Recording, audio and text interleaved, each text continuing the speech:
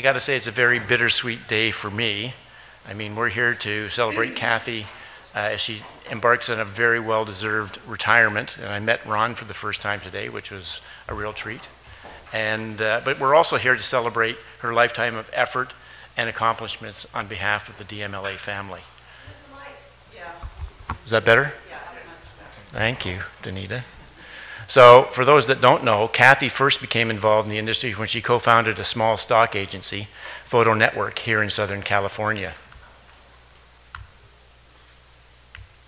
She joined PACA, as it was known then, back in 1979, and right away she got involved in the program committee.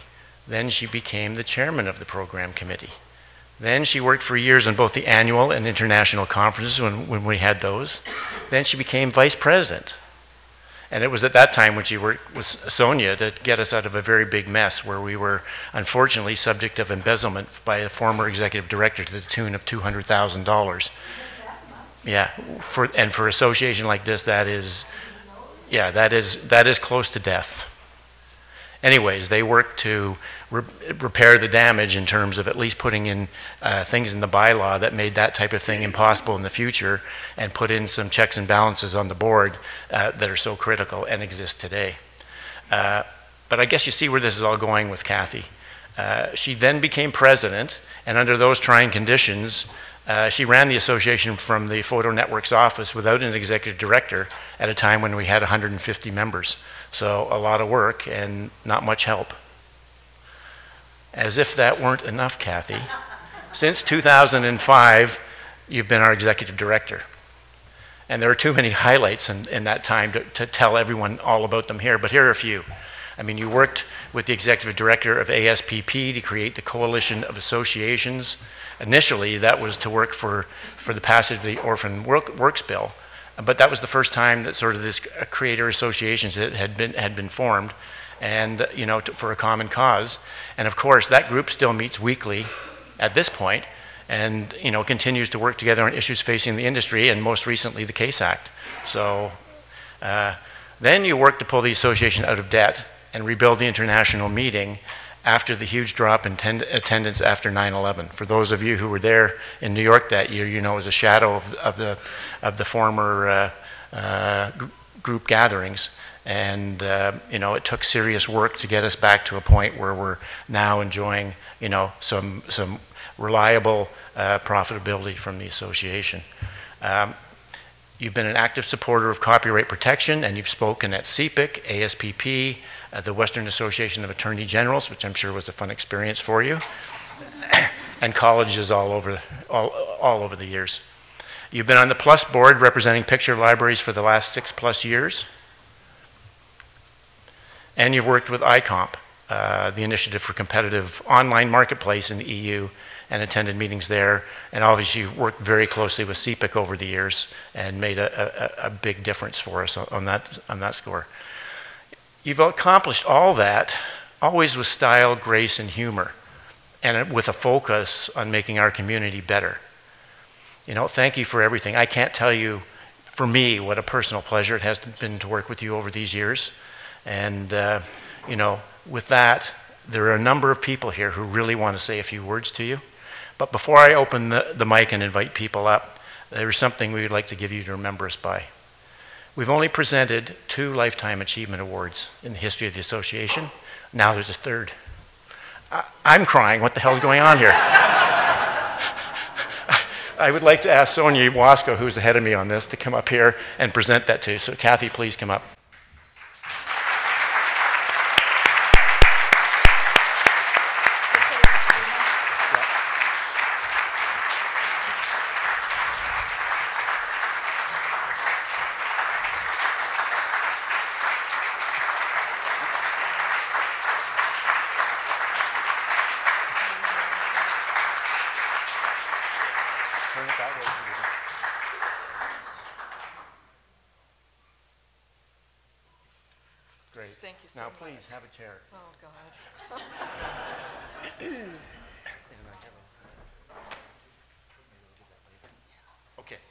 Sonia, over to you, and then you can invite people Okay. up to, uh, to uh, say a few words after you put Cathy in tears. Okay, thanks. Cathy, I'm not really sure exactly when we first met and became friends, but who would have ever guessed when I sat next to you at an annual meeting dinner at Picture Arts Photo Agency in the early 90s that you and I would go on to become such good friends? By working together for so many years on PACA committees, becoming PACA officers together, traveling countries together, attending nearly 100 conferences together. Can you believe that? Uh, becoming part of the driving force behind uh, Saving PACA in 2001, and to be business partners. As a matter of fact, we've done so many things together that I've been mistakenly called Cathy many times, and she, Sonia. As a matter of fact, we even dress alike. Yesterday, we both wore polka dots, and it was not planned. it is scary. we both pulled out Tic Tacs at the same time at lunch, too, so that's even more, yeah, yeah, same, same flavor. We really, although we really couldn't be more different. We're different, we're from different sides of the country. We have way different political views. Um, I'm from the country, you're from the city. I love pigs and cows. You love musicals and theater. I shoot guns. You never did until Russ Kinney and my husband trained her. Um, yeah, she did. Uh, and I might mention that it was with very safe practices as well. But somehow those differences never prevented us from building such a great friendship. we even put our differences aside to become PACA slash DMLA roommates. We've laughed together and cried together with happy tears and sad tears. We've been through weddings. We've been through too many funerals and way too many birthdays, too. But by far, my fondest memory of you is your dedication to PACA and DMLA and your sincere caring for all of those who are lucky enough to be your friend. You're the first person to call somebody when they have a time of need, to write a note, send flowers or gifts. Um, and you keep us all informed of people in need as well. In 2000 and 2001, almost 20 years ago, you were uh, part, when PACA was facing the possible downfall of its existence, you were among a small group of people who came together and gave hours and hours of your personal time to investigate and identify the problems, and even more time and personal expenses to ensure that the behavior that led to those problems would never happen again. And boy, could we tell stories about what we found. Thinking back over the years, though, there are a few minutes that's few moments that stand out above the rest. Like how creative your mind is, like starting bullseye images. Roaming the streets of Florence, pretending to be mannequins outside of the windows. Way too many martinis in Soho. the presidential suite at the Astor Crowne Plaza in New Orleans, where to get PACA to come to their hotel, they threw in the presidential suite for Cathy, which was like a boudoir, decorated in leopard prints and zebras and red velvet. And Ron even got to come and enjoy that one too. And speaking of New Orleans, what about the Mardi Gras parade that we had? It was wonderful. And you worked on putting together some of the best PACA meetings that we've ever had. How about whispering most of the night in Minnesota? when um, I served as president and you were vice president, and we first became aware of some of the fraudulent activities that we were suspicious of, we whispered all night long in the bedroom how we were concerned about the things that we were finding. Or pillow talks with our friends in our room until god awful hours of the morning, like this morning. um, how proud you were, are, of your grandchildren when your grandchildren were born, and holy cow, now they're driving or learning. but most of all, the amazing strength of your love and marriage to Ron. I know the decision to retire has been a difficult one for you because you love your job, these people, and this industry's been your life. Now that you've taken the step to make this official, you can start doing all those wonderful things I've heard you talking about over the years. You're a true friend. Our years of working together have showed me that you can love your work if you love the people that you work with. Thank you for proving that to us. I wish you an amazing retirement with years of enjoyment to come.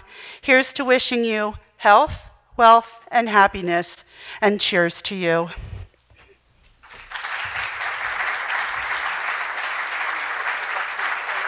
Well, this certainly is a wonderful celebration of a wonderful person. Cathy, even above her unrelenting commitment to the licensing industry, is a loyal friend a friend to the members of PACA and then DMLA, or both on a personal and professional level. She has been the fulcrum upon which desperate opinions, business models, and quirky individual personalities have been balanced to the end of a very successful industry organization. She has been a peacekeeper, a guardian of the, best, of the past, and a leader forward into the rapidly changing aspects of our industry. always remaining loyal to all interests, favoring none above others. Thus, I'm suggesting that now, retired from DMLA, she should run for President of the United States.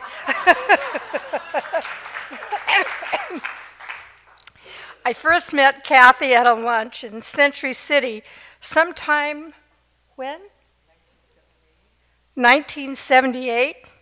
She was operating a stock photo agency and seeking to establish best practices, not so much for her personal success, but to honor her responsibilities. She instantly felt like a friend, a friend that has been consistent in offering great information and advice to me ever since. Best of all, it was a rare conversation that wasn't sprinkled with laughter, elicited by Cathy's great sense of humor. I admit to being at a loss for words as I attempted to write this tribute, so I turned to Google. Unfortunately, searching on inspiration for writing a tribute resulted in advice on speaking at funerals. but this isn't the end for Cathy, but simply the beginning of a new chapter in her life. I'm certain she will be successful even if she decides not to seek a political path. Goodbye, Cathy. Hello, Cathy.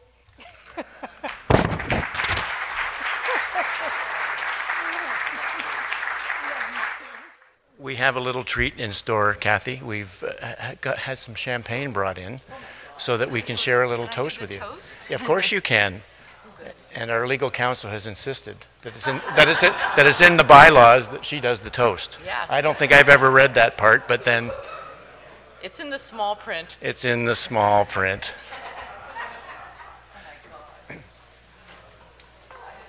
But in the meantime, Cathy, we have a little something for you. It's a little bit of a treat. You can open it because we're all yeah, I think Yeah, you'd be very okay. interested to open it. Well, there's never enough, Cathy. You can always, there's never enough presents or champagne. And this one you can't return. There's, there's no receipt with it. It's, oh, yeah. Do you want to hold it up so everyone else can see what you're doing?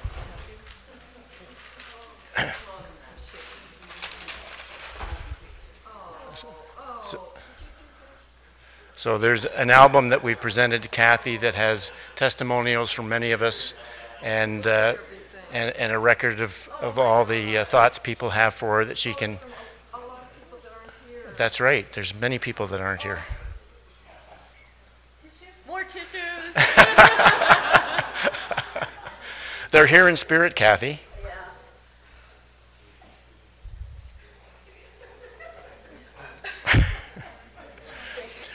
And uh, um, we must make sure that the lady of honor up here gets, gets some champagne. And her counsel. And her counsel, that's right, legal counsel insists. That's right.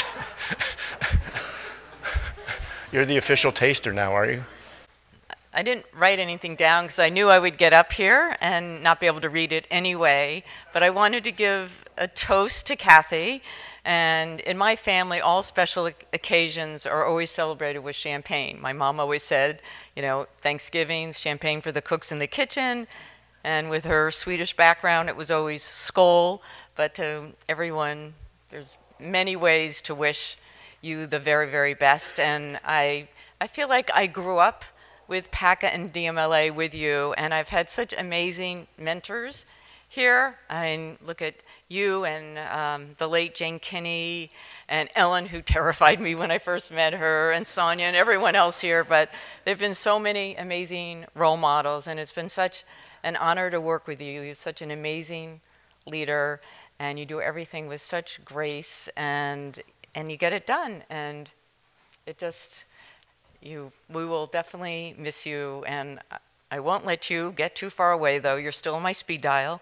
Uh, we have many many calls and many adventures and you had the good fortune of having many birthdays in June during wonderful CEPIC adventures which were always at a different country and I think one of the most amazing ones was Portugal where we take a secret bus to an unknown location which is like this palace that's a little run down but beautiful candles and it's all tile and you your a birthday cake came out for you so we've had many many great celebrations but i don't want to keep everyone from having their toast so we just want to say that we all love you admire you and wish you the best Skål. here l'chaim l'chaim if I can do this without crying. This is really bittersweet because I hope all of you know how important this job and this industry has meant to me for how many years was that? Quite a few. Quite a few. 40. I, I have said personally to so many of you that I could have gone in a lot of directions in my life. Um, fate took me into photography. Um, the people I've met, all of you out there that I've known, some of you for a short period of time, a lot of you for so many years, I don't want to count them, but um, have enriched my life in so many ways. If I can impart anything to you, get involved because being involved, you really get more out than you put in. Um, I've met people all over the world who I call friends, and I don't know that any other job would have given me that opportunity. And I will always think of all of you as I go forward into retirement. I don't know what that is going to be like. I've never tried it before, but you know, I'll let you know. Um, but at some point, it's time to move on and bring in new blood and new ideas. DMLA, PACA, started out in 1951, and it's seen a lot of people be involved, and I know that new people will come in and make this organization strong and stronger than it's ever been. Try to be one of those people, volunteer for a committee or to be on the board. I want to thank every board that I've worked with, all the presidents I've worked with, all the committee chairs and board treasurers, secretaries, everyone that I have, vice presidents, um, that I've worked with along the way. You've enriched my life in a way that you'll never know, and I thank you so much for this today.